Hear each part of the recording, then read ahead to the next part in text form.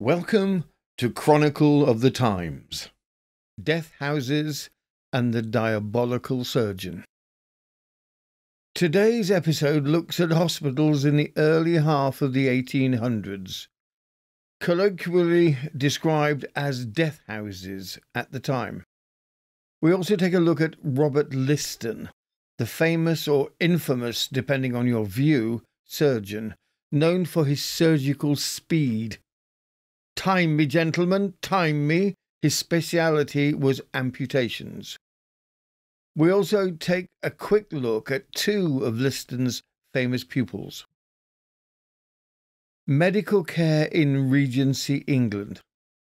A visit to the doctor was expensive, and there was very little effective medicine available beyond alcohol, opium, and bloodletting with leeches.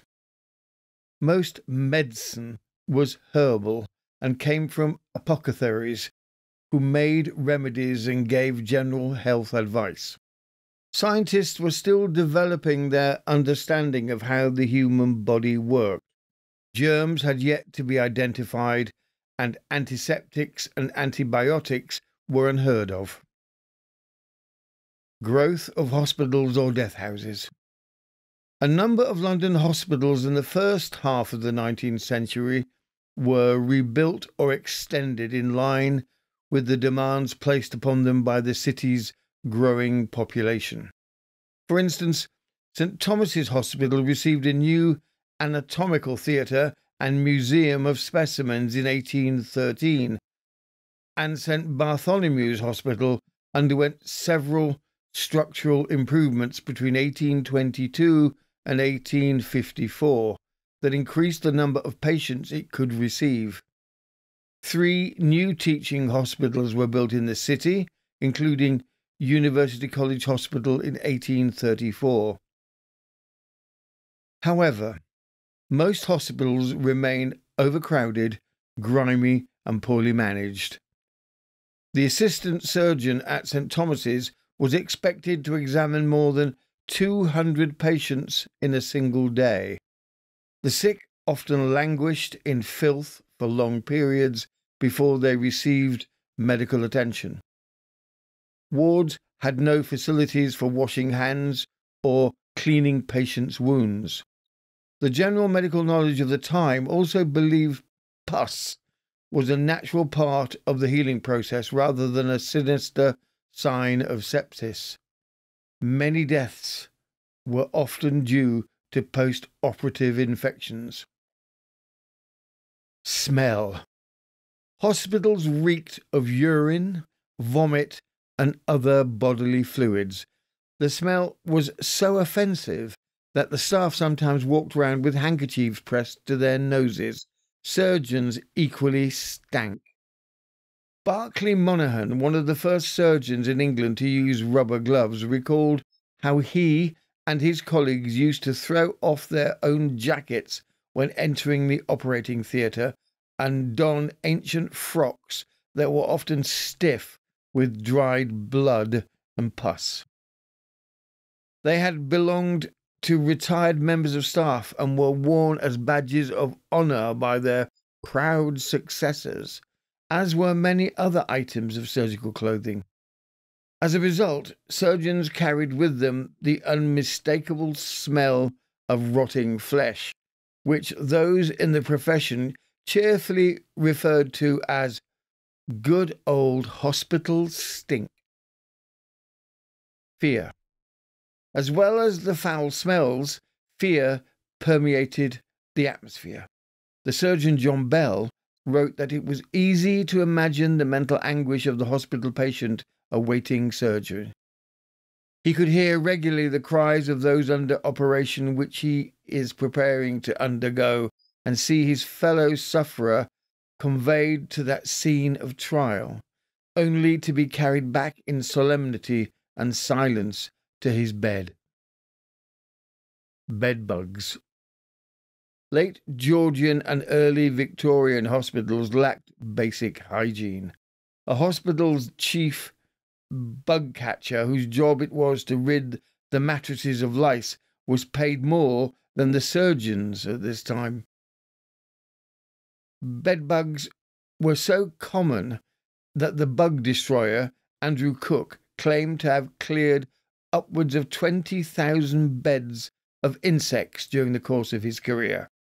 Hospitals were breeding grounds for infection and provided only the most primitive facilities for the sick and dying, many of whom were housed on wards with little ventilation or access to clean water. As a result of this squalor, these places became known as houses of death. In this period, it was safer to have surgery at home than it was in a hospital, where mortality rates were three to five times higher than they were in domestic settings. Those who went under the knife did so as a last resort, and so were usually mortally ill. Few surgical patients recovered without incident. Surgery. Undergoing major surgery in a grimy operating theatre without any form of anaesthetic was the norm of the time. That was the grim reality in the 1800s when the ruling theory was that damage from bad air was responsible for infections in surgical wounds. Hospitals simply aired out the surgical wards at midday to avoid the spread of infection. Surgeons took pride in wearing dirty, blood-stained operating gowns as a display of their experience in the surgical trenches. Surgery would be performed with no anaesthetic in dirty conditions. Patients often died from infection or shock. Surgeons amputated limbs in dirty, bad lit rooms with no anaesthetic. In the early 19th century, surgeons, and even more so their patients, still faced the major problems which had been there for centuries pain, shock, lack of time, blood loss, and infection. It was difficult to operate successfully on a conscious patient. Speed was essential, and a very good surgeon would amputate a leg in under three minutes. However, many patients still died from shock or loss of blood, and even more from infection after the operation. In some London hospitals, nine out of ten people died from infection. From this setting, we take a look at one of the most famous surgeons of the day, Robert Liston. About Robert Liston.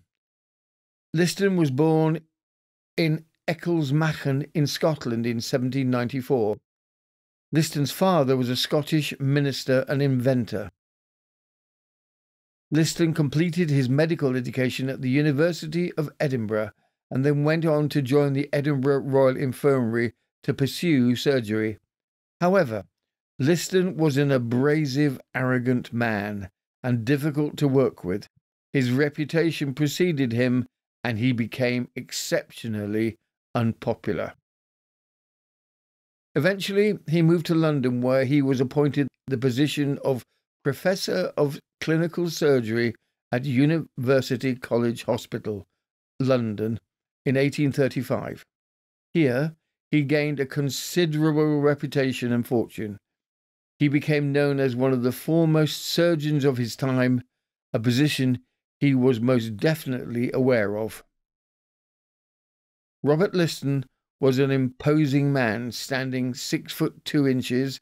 His strong, one could say cocky self assurance and abrasive personality ensured that few would have, have the temerity to argue with him. Liston was described he was six foot two and operated in a bottle green coat with Wellington boots. He sprung across the blood-stained boards upon his swooning, sweating, and strapped down patient like a duelist, calling, Time me, gentlemen, time me, to students craning with pocket watches from the iron railing in the surgical galleries. Surgery and amputations. Patients were fully awake during the procedure as anesthesia was not yet invented. The surgical procedure itself was terrifying. As such, patients were known to flail, with some even trying to escape halfway through an amputation. Liston's known speed helped to secure his reputation and his fortune with long waiting lists. The speed of surgery was important in helping to minimize infection and death. Liston's own record for a leg amputation was a blazing 28 seconds. His usual speed was between two and a half to three minutes. Liston's amputation procedure. Liston would stride into the room, removing his frock coat, put on a clean apron, and wash his hands, a notable achievement for this era. He would then summon some poor, nervous medical student to hold the limb that was to be removed, and another two students to hold the poor patient down. A typical amputation would take approximately two to three minutes to perform, with his fastest amputation being reported to be an astonishing 28 seconds.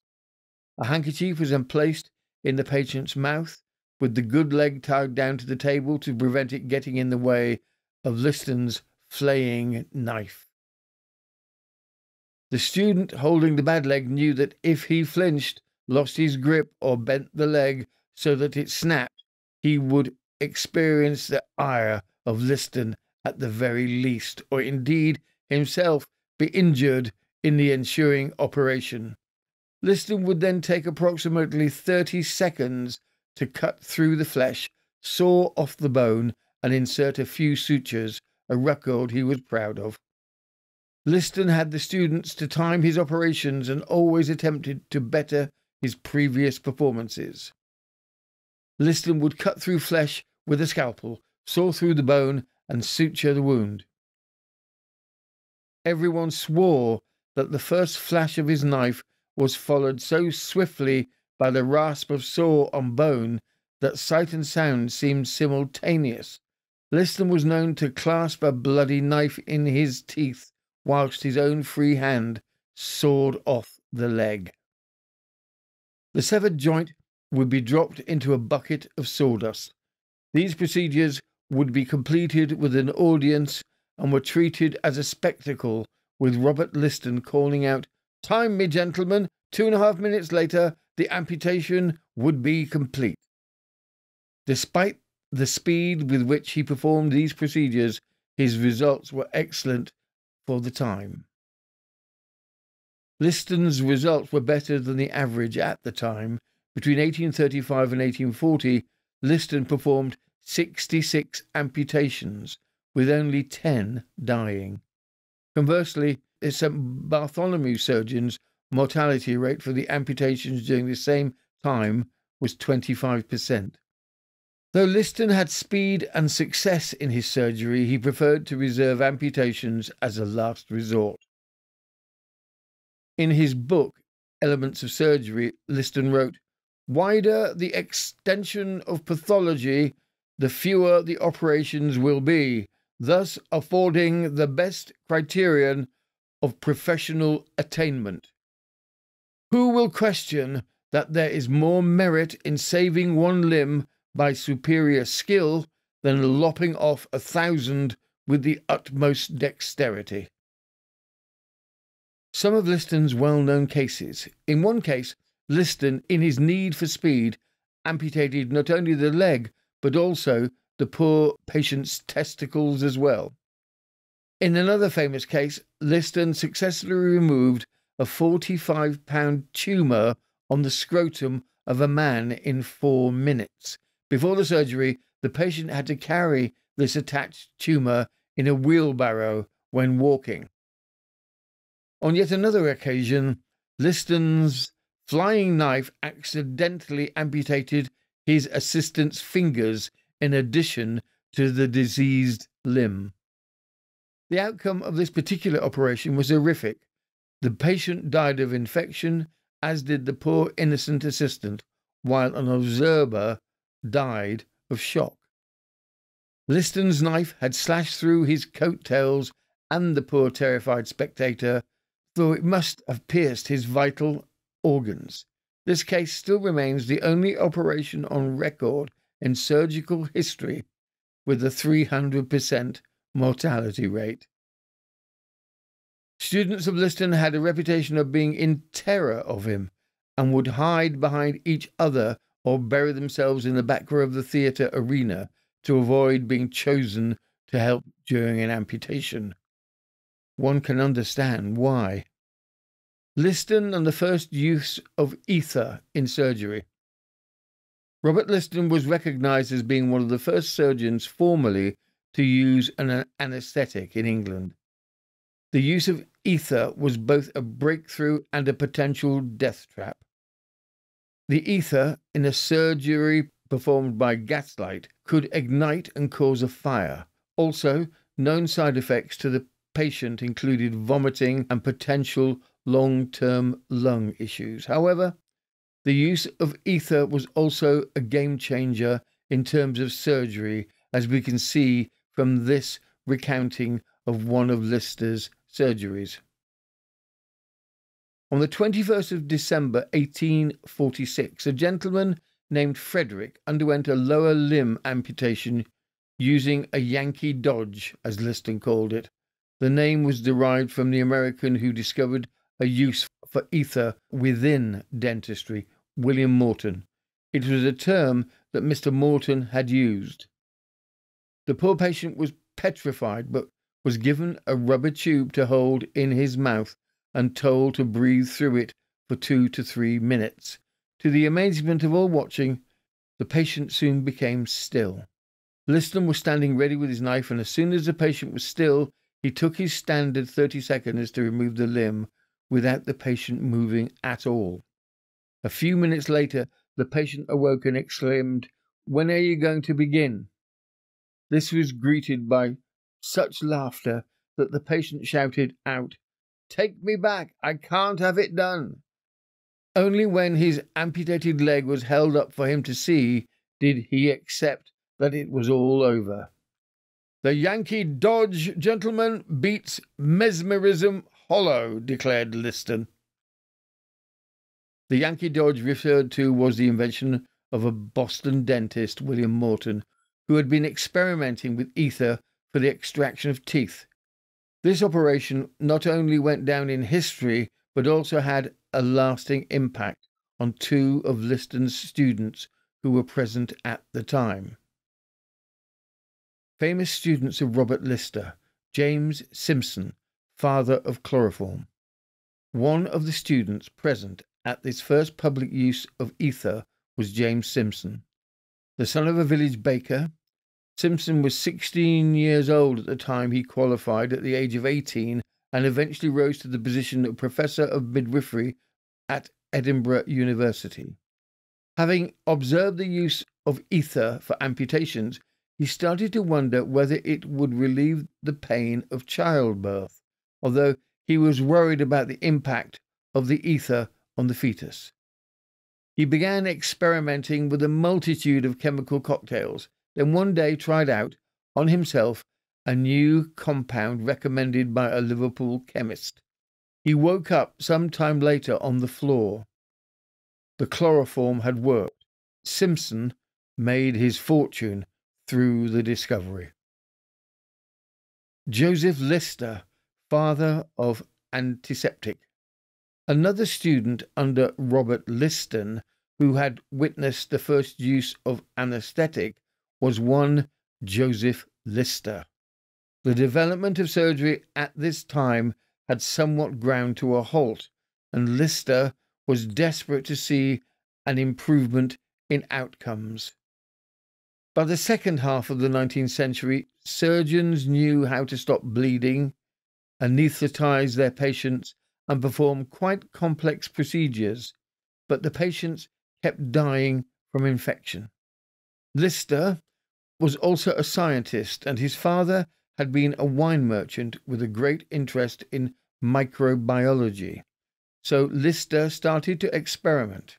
He found that when a bone of a frog was broken without the skin being breached, it healed, while a compound fracture that penetrated the skin became infected. Thus was started the development of antiseptic technique and antisepsis that was to have such a profound impact on modern surgery, for which Lister himself was rightly given the credit. Listerine, a well known mouthwash, is named after Robert Lister. Robert Liston. The quote of standing on the shoulders of giants could be applicable here with Liston's students. Liston's influence over his students was far reaching. Robert Liston's operations were messy, bloody, and traumatic, and his poor patients suffered terribly, but at least a fair proportion of them left hospital alive, which was more than could be said of most of his rivals at the time. Historically, his several accomplishments included one of the few to take off his frock coat and wash his hands and wear a surgical apron, which at the time was both unusual and significant. Liston invented a splint for supporting the thigh in case of dislocation. Liston was also the author of several publications and medical books, which were used for references in medical studies for years to come. Robert Liston's record of 300% mortality rate has yet to be beaten. Robert Liston eventually died on the 7th of December 1847 of an aneurysm at his home in London. You have been listening to Chronicle of the Times, and I am Robin Coles.